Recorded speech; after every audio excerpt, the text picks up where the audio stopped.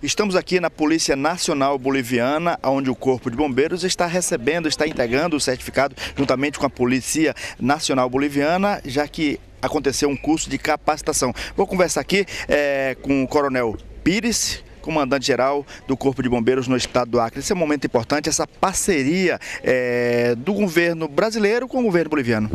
É, esse é, uma, é, um, é um momento realmente importante para para os dois países. Né?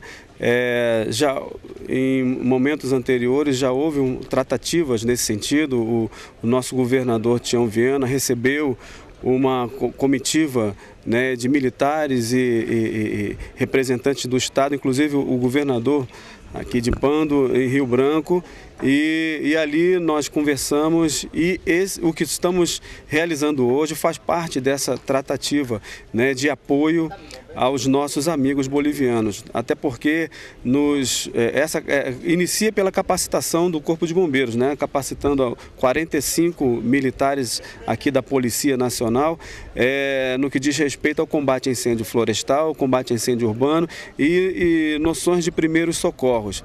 Né? E, e nessa oportunidade é, é, é em que nós firmamos esse compromisso, nós vamos dar um apoio muito grande para a comunidade aqui de Cobirra, porque nos eventos, quando existem incêndios ou outros acidentes, aqui o, o Corpo de Bombeiro do Brasil, o Corpo de Bombeiro do Estado do Acre, que vem para cá, para a Bolívia, para dar resposta a esses acidentes, a essa, esses a, é, eventos adversos. Né? Então, é, seria, é, é, muito importante porque eles vão terão já agora já tem noção de dar o primeiro combate em caso de incêndio ou qualquer outro tipo de evento adverso e se for necessário nós mandaremos a nossa equipe aqui de, de, de Epitaciolândia para dar apoio ainda ao, ao governo de, de, é, de Pando. Muito obrigado, Coronel. De Cobija, na Bolívia, Almir Andrade, para o Gazeta Alerta.